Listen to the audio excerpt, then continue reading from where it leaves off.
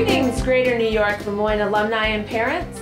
The college mascot, Iggy Dolphin, says there are five great reasons to attend the Bronx Zoo event on Saturday, August 21st. Number one, it's a great way to connect with nature.